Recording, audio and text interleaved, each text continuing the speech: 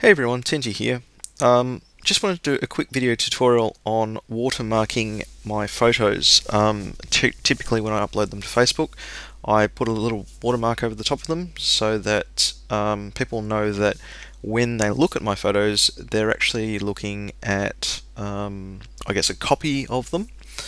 And if they wanted to get a unwatermarked copy for their own personal use, then they can contact me so, uh, oh, by the way, if you hear any jingling of bells in the background, that's my kitty cat running across the floor because uh, I'm filming this, as you can see, at about 10 p.m. at night and he's got the midnight mads. So, just putting that out there. So I'm not going to go through any of the settings um, about how to use it.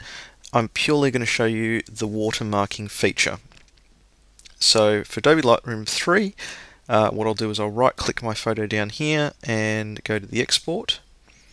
And I've already got some exports uh, presets filled out.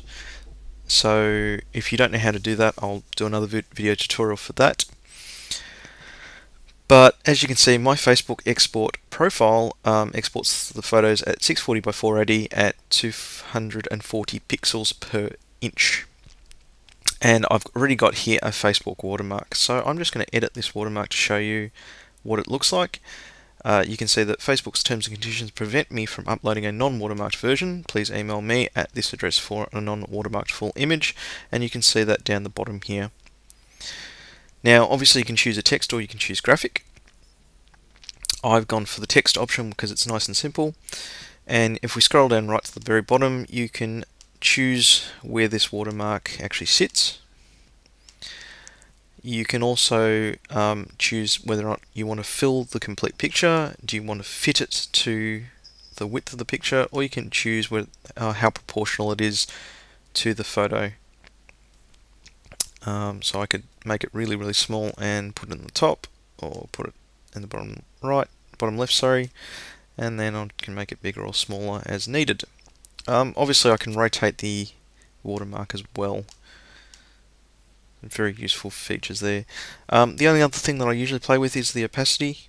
Um, so you can see I haven't got it full ball, I've actually got it set somewhere around here so that you can still see the picture and the um, text doesn't quite get in the way.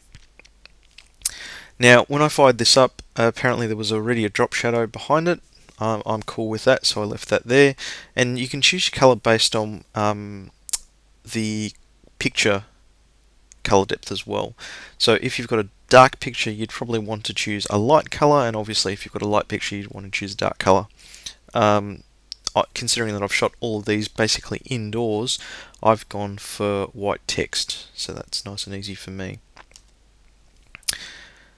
Um, I've cancelled that because I don't want to save that. But now if I export this image, as you can see up in the top left here, I'm exporting one JPEG file. And that will be done in just a second. And that's, once that's done, I'll have a 640 by 480 image that I can upload to Facebook, which has a nice little watermark on there that says, um, if you want a full-size copy, please contact me at this address. So we've got task complete. I'm just going to go into Finder here. There's my image today. And if I bring that up, I've got that lovely watermark down the bottom here.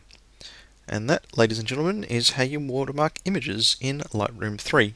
Thanks very much for watching, and um, I guess if more people want to see videos like this, we'll see you in the next video, so please feel free to comment, and, uh, and we'll see how we go. Thanks for watching.